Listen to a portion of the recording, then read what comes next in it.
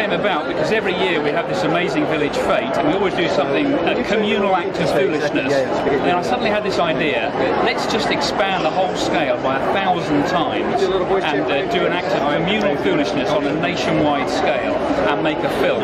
So actually the film incorporates some of the amazing things we do in the village fete every year, but we've just made a, uh, a massive film. Uh, I'm not sure how I feel about it. Uh, I had a friend earlier who has an office near here and said, um, uh, said I've just come out to have a cigarette and there's a 30 foot uh, poster being erected of you.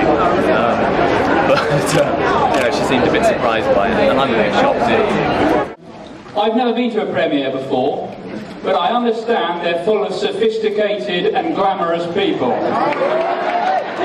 Hands up if you're sitting next to somebody sophisticated and glamorous.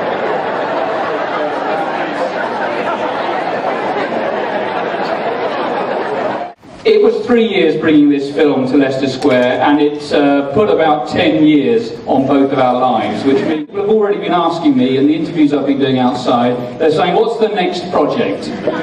What's the next project, Guy? And uh, we've got three ideas. We've got uh, the first one is to do a remake of Titanic. where it doesn't actually hit the iceberg. And it's actually a happy ending.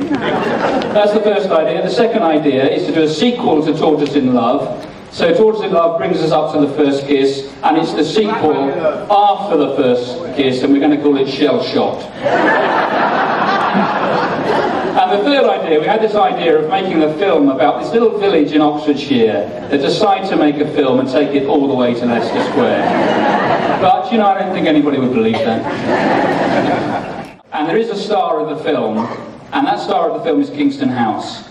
And we couldn't have made it without Kingston House, and we couldn't have made it without the generosity of Virginia Grant. So,